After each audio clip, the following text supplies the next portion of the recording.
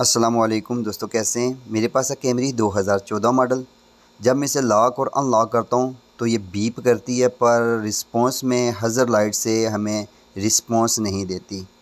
मैं इसे स्कैनर लगा के थिंक डिएग एप्लीकेशन जो है ना डाइक जोन स्कैनर है थिंक डिएग और एप्लीकेशन डाइक जोन इसकी मदद से मैं इसकी जो कस्टमाइज, स्पेशल फ़ंक्शन में जाके कस्टमाइज़ का जो ऑप्शन है, वहाँ से जाके जो है ना, मैं इसकी सेटिंग ओपन करूँगा। ताकि हमें लॉक और अनलॉक के दौरान हमें रिस्पॉन्स दे हज़र से, ताकि हमें मालूम हो जाए कि गाड़ी लॉक हो गई। तो अभी मैं जाके एप्लीकेशन खोलता हूँ। एप्लीकेशन कनेक्ट करके सबसे पहले मैं ट्योटा पे जाऊँगा। कॉमन ऑल कॉमन ट्योटा पे क्लिक करते हैं। Okay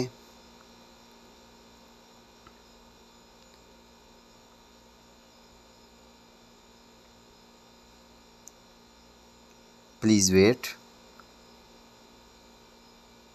ji sixty pin Europe and others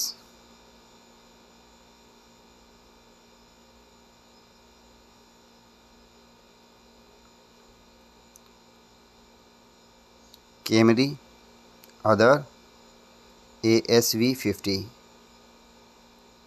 ये विदाउट है तो इसलिए विदाउट ही कर रहे हैं। ओके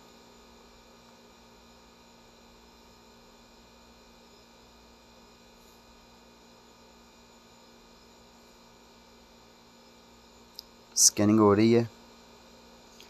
हाँ ई सी एम पे ई C M E C T इस पर क्लिक करेंगे। ये बी सी एम पे भी जाके हो जाता है स्पेशल फ़ंक्शन से।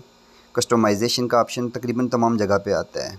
जितने, जिस भी मॉड्यूल में आप दाखिल होंगे ना कस्टमाइज़ का ऑप्शन वहाँ भी आता है। बी सी एम में भी आता है। तो मैंने ई सी एम और ई सी टी पे क्लिक करके जो है ना स्पेशल फ़ंक्शन पे जाके कस्टमाइज़ पे, के जो कस्टमाइजेशन के जो ऑप्शन हैं, ये खुल रहे हैं। जैसे ही खुलेंगे तो हमें यहाँ बहुत से ऑप्शन जो शो होंगे, जिनकी मदद से हम जो है ना गाड़ी की, के जो फ्यूचर्स हैं, जैसे बहुत से हैं। चले मैं सबसे जाता हूँ वायरलेस डोर लॉक जैसे ये ओपन होगा, हमें ऑप्शन शो करेगा कि इसमें वायरलेस डोर लॉक में कौन कौन से ऑप्शन आ रहे हैं।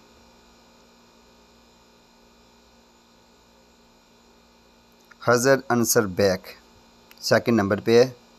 अब इसको सेट पे जाके ऑन के बटन पे प्रेस करना है। ओके कर देना है।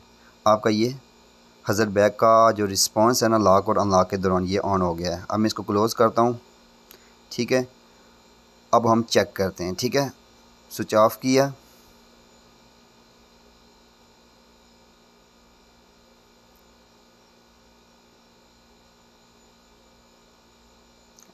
जी, अब चेक करते हैं।